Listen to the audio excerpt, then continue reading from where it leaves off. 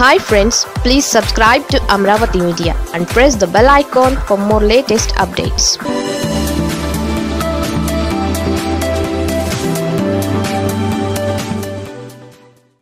Lokesh మనస్తాపం చంద్రబాబు పశ్చాత్తాపం. TDP అధినేత చంద్రబాబు వైఖరిలో స్పష్టమైన మార్పు కనిపిస్తోంది. గతంలో తాను అనుసరించిన వైఖరి పార్టీ ప్రస్తుతం ఈ పరిస్థితుల్లో ఉండడానికి కారణాలు ఏంటనే విషయాలపై చంద్రబాబు లోతుగానే విశ్లేషించుకుంటున్నారు. గత టీడీపీ ప్రభుత్వం చేసిన వ్యూహాత్మక రాజకీయ తప్పిదాలకు ఇప్పుడు ఫలితం అనుభవించాల్సి వస్తుందనే బెంగల్లో చంద్రబాబు ఉన్నట్లుగా కనిపిస్తున్నారు.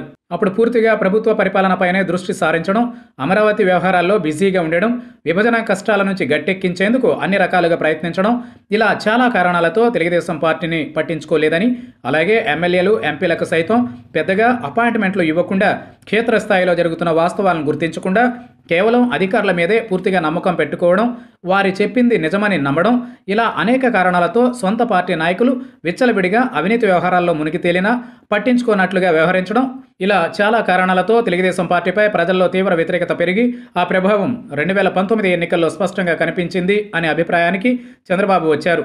అయితే చేతులు కాలేక ఆకులు పట్టుకున్నాను అనే విమర్శలు వచ్చినా పార్టీకి సంబంధించిన విషయాలపై పూర్తిగా దృష్టి పెట్టి ఎక్కువగా పార్టీ భవిష్యత్తును తీర్చిదిద్ది తిరుగు లేకుండా చేయాలనే ఉద్దేశంతో చంద్రబాబు ఉన్నట్లుగా కనిపిస్తున్నారు.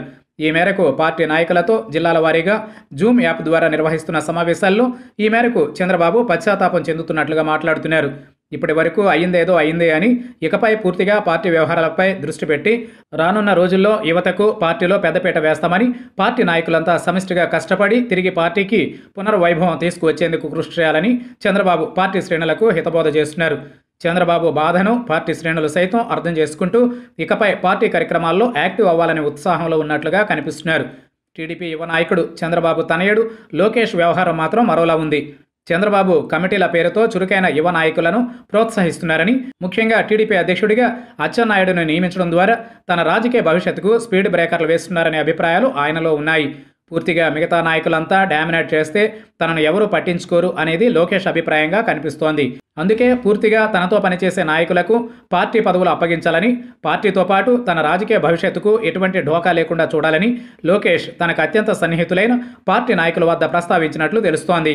అయితే ప్రస్తుతం టీడీపీ పదవుల్లో లోకేష్ మాట విని పార్టీకి ఉపయోగపడిన వారికి పదవులు ఇచ్చినా ఉపయోగం ఉండదని ముందు ముందు పార్టీ భవిష్యత్తు బాగుంటేనే లోకేష్ రాజకీయ భవిష్యత్తు కూడా బాగుంటుందనే అభిప్రాయంలో చంద్రబాబు ఉన్నట్లు కనిపిస్తున్నారు.